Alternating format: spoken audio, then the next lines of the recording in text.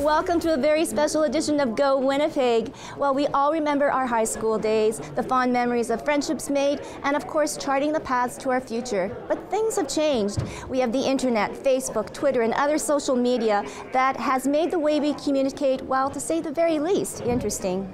Today, we wear pink in solidarity against bullying. But more importantly, we want to show you how the high schools are changing the tide to create a safe and fair educational experience for all.